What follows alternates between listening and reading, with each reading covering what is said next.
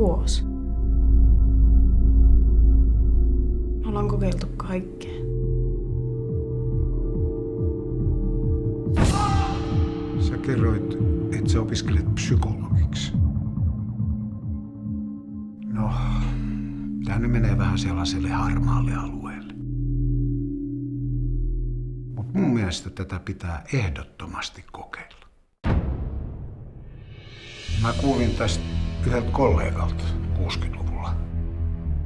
Moni ei tiedä tästä paikasta. Tai mitä se voi tehdä. Mitä sä annat sille? Shh. Odota.